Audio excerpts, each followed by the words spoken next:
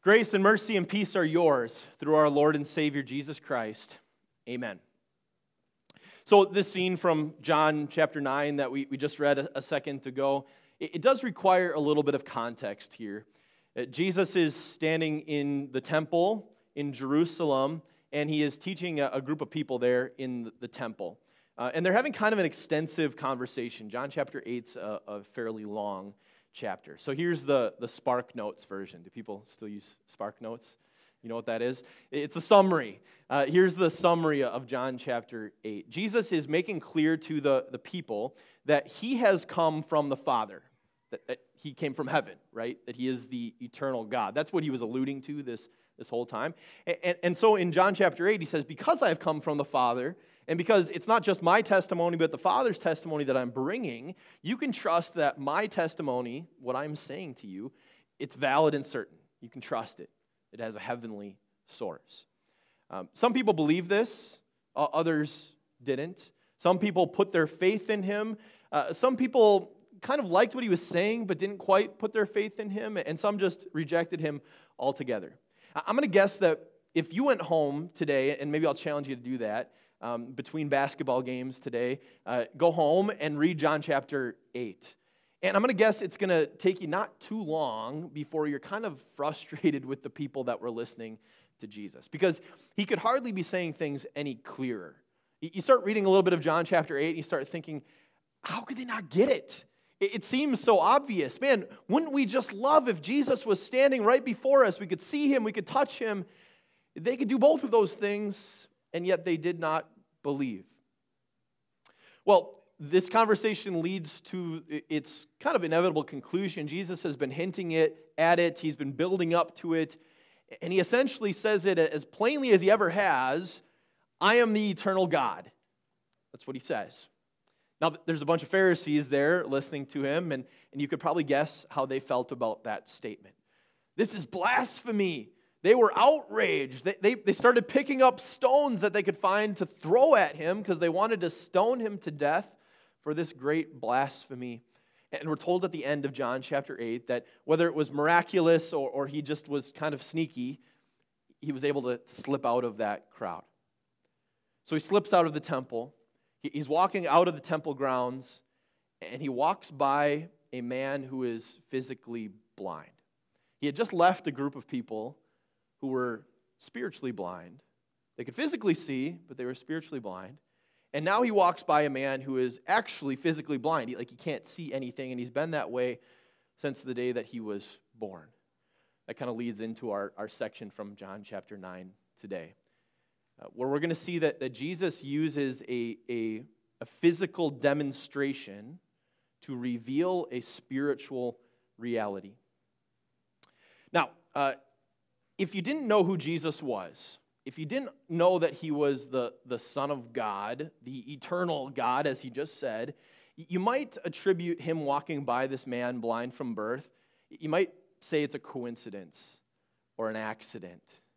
But you know Jesus well enough to know that nothing he does is a coincidence or an accident. He is in the exact place he needs to be at that time. He says the exact thing that he needs to say at that time. And so it is no accident, no coincidence that he walks by this man who was blind from birth. He has a reason and purpose for doing so. And he's going to tell us what that is. But first, the disciples have a question. They say, Rabbi, who sinned, this man or his parents, that he was born blind?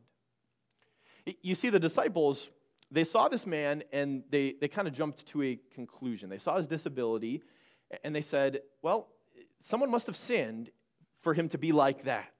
It must have been a sin of his, or maybe his parents had done something to cause this. And before we're too hard on the, the disciples, they're, they're really just trying to make sense of what they see, right? They're, they're making observations. They're saying, this man is blind, and we're not. So there's got to be a difference between this guy and us. So, so what's that What's that difference? And they reason that, that maybe it was sin that caused this, his sin or his parents' sin that caused this. The disciples are reacting to what they can see, but here's the thing the disciples can't see everything that is going on, they're blind to certain things. And you can hardly blame the disciples. This is kind of an ordinary reaction. Uh, maybe you've read this section a few times. I've read this section a few times, and, and I'll, I'll admit to you that, that sometimes my knee jerk reaction is, ah, I don't think like that, right? But the more you meditate on, on this, the, the more you think, yeah, that's, that's a real thought that, that I deal with in my head. Did my sin cause this? Is, is God trying to, to punish me? When some sort of hardship or affliction comes into your life, um, you react a lot of times like the disciples reacted. It's really easy to react that way. And it might sound like this uh, something bad happens to you, and, and, you immediately think of how you acted last week. Uh, you, you were kind of bitter and angry last week. And, and so it just makes sense that, that God is kind of evening the score this week by sending this affliction, by sending this hardship, right? Have you thought that before? Or uh, maybe it's something that you feel really, really guilty about. And it could have happened not too long ago, but it may have happened a long, long time ago. And you, you still feel pretty guilty about it. And so when this hardship or affliction comes into your life, where does your mind jump immediately? God's evening the score. He's getting back at me for that thing that I feel really guilty about way back when. We think this all the time. This is a, a real thought that goes through the head of parents who, whose children have some sort of health disability. Did we do something to cause this? Is God punishing us uh, and using our child to, to do that? They may not say it out loud, but they, they think it in their head. We have real thoughts like this when affliction comes and hardship comes, we assume that we know why. But God just doesn't work like that. And you know how you know? Because you do know. Just, just look at the cross. What did we deserve? And what did God do for us? He didn't give us what we deserve, He didn't punish us, but He gave Jesus what we deserved. He punished Jesus for us. If ever you're thinking that, that God is somehow punishing you for, for something that you did in the past, look at the cross and, and know deep in your heart that God has already punished Jesus for everything um, that we could ever do, past, present, and, and future. Through this awful cross, through this physical act that Jesus carried out on the cross, it communicates a spiritual reality to us that spiritual reality is that we are, are saved. That spiritual reality is also that, that through suffering and through hardship, God can bring about great blessings. There's, there was probably no one that suffered more than Jesus did on the cross. And through his suffering came wonderful blessings. So, could a Christian view that hardship or affliction differently? Rather than thinking, okay, this is a punishment from God, Maybe a Christian might look at hardship and affliction and think, what sort of blessing could God be working through this hardship or affliction?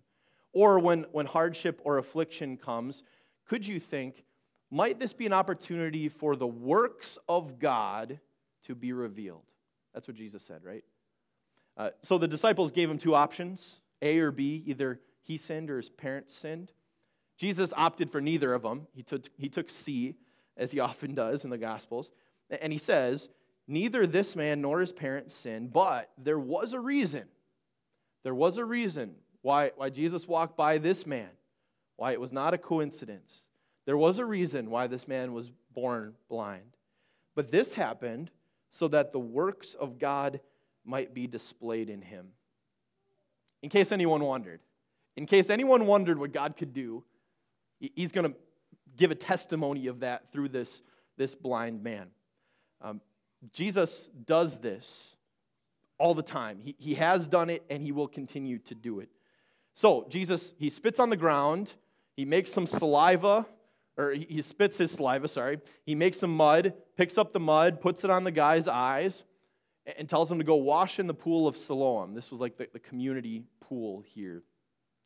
Now, even though this, this man has, has probably gone through a lot of, of things that no one else had gone through in his life, this was still strange, right? A guy's putting mud on my eyes. But really, at this point, what does he have to lose? So he gets up and he, he goes to the, the pool and he, he washes and he can see. It says he came back seeing. Now, I don't think any of us can probably fully understand what that was like for that guy. He's never seen anything in his entire life, he's only ever been darkness. And now Jesus has turned the lights on for him. He, he can see the water that he just put on his face. He, he could see people for the, the first time. He could see buildings and trees and birds, things that he couldn't really even conceptualize in his head. He probably had all these pictures of, of what he thought things looked like, and now, oh, now I can see them with my eyes.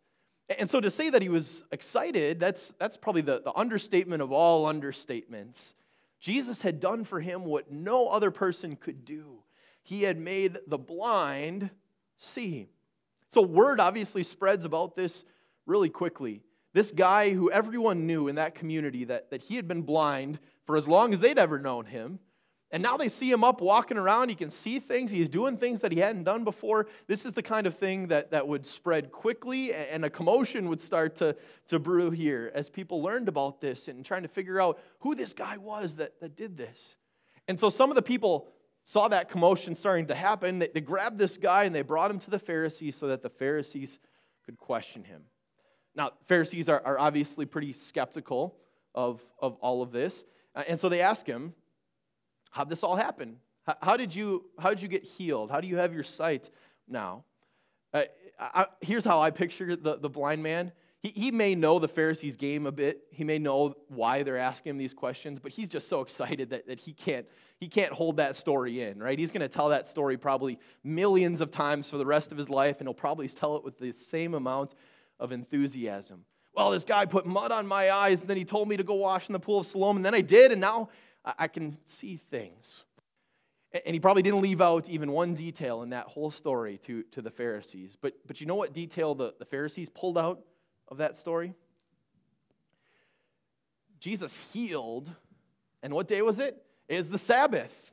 Jesus healed on the Sabbath. Healing is work, and you're not supposed to work on the Sabbath.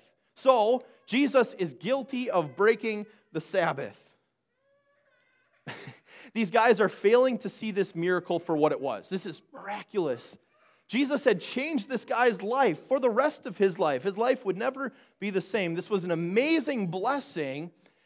And rather than, being happy for him and giving thanks with him, they're bringing accusations to Jesus. So let's, let's do the math here. You heard a little bit of the context in John chapter 8. Jesus says in John chapter 8 that he has come from the Father in heaven. Uh, he says that his, his testimony is valid and certain and that he is the eternal God. Okay? That's chapter 8. Now, add to that chapter 9. He does something that only God can do. I'll put those two together. What's the conclusion?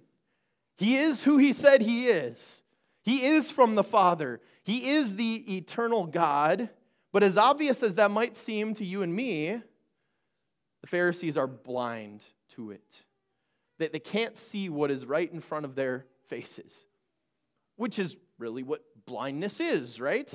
If you're blind, you can't see anything. Even if it's right in front of your face, you can't see it. Even if it is so obvious, you can't see it. These Pharisees were spiritually blind. They could physically see, but they spiritually couldn't see what, was, what is so obvious to everyone else. That's exactly how you and I were born congenitally, spiritually blind. Spiritually, we are unable to see things as they actually are. Spiritually, we are unable to see God in the way we were born. We can't see things right in front of our, our faces. We are born with the blindness of unbelief. Now, if you've been in the church for a while, you've heard that, right? You've heard that. Uh, and it's something we understand, we can understand here. It's something we often fail to appreciate or to, to think about here. We don't feel it here sometimes because for a lot of us, maybe that was a long time ago, right? Maybe you don't even remember that time because you were just a little baby when you were brought to the, to the waters of baptism here. So, so you don't remember that time when you were blind, so it's pretty hard to feel that feel the weight of, that original sin. I don't know exactly how to make you feel it uh, because I don't know how to make myself feel it sometimes, except to say it maybe just a little stronger and just really let it sink in for a second. when you and I were born, our eternal address was hell. That's what we deserved. All of God's wrath, all of God's punishment. We were blind. We, we couldn't see a thing. Just, just let that sink in for a second. Because the better we know that, the better we understand that, the more we feel that, the more we can know, understand, and feel the weight of what Jesus did for us. The more we can understand the gospel. Because in our text, Jesus makes spiritual realities known through a physical demonstration. He didn't walk by a man blind from birth on accident. He could have walked by a blind guy that had been blind for two years. He used to be able to see, but now he was blind. He could have walked by a guy that was, you know, he, he could kind of see. He wasn't completely blind. He could see like shapes and stuff. He could have walked by a guy like that, but but he walked by a guy who was blind from birth. And he did what no one else could do made that guy who was blind from birth able to see, just like he does for us. Takes someone who was spiritually blind from birth and gives them eyes of faith to see. This man getting his physical sight back was only the, the second greatest miracle in this whole section. The, the greatest miracle happened at the end, right? Where this man comes back to Jesus after being thrown out of the presence of the Pharisees, right? They're done with him. He goes to, to Jesus, and Jesus says, Do you believe in the Son of Man? Tell me who he is so I can believe in him. Well, the one speaking to you, that's the Son of Man. I believe. He worshiped. That was the greatest miracle. Faith was created in that, that man's heart. He could now see, and his eternal address had been changed from hell to heaven. Wouldn't it be awesome if we had a physical demonstration to communicate a spiritual reality for us? We don't have the, we don't have the pool of Siloam. I don't have the waters from the pool of Siloam for you. Um, but God has given you something even better than that because He has given you two physical things that communicate, and they do more than just communicate a spiritual reality, they, they actually give it to you. At your baptism, right? This earthy, real thing that, that you can see and that you can touch, you can witness, that you can remember. He gave that to you so that, that you could know. So, so you can know here and you can know here what Jesus has done for you so that you could, could have this physical demonstration give you this spiritual blessing. And then what we'll celebrate today the Lord's Supper, because it wasn't enough for him to tell you so, so that you just hear that you're forgiven. That, that would have been enough. He could have just told us. But instead, he wants you to taste forgiveness on your lips so that you remember he, he wants these physical acts to announce to you that you are saved, that you are forgiven, and that heaven is your eternal address. May God give us eyes of faith always. Those eyes wide open to see all of the blessings that He intends to pour out on us, not only through suffering and affliction, but through His word and through His sacrament. Amen.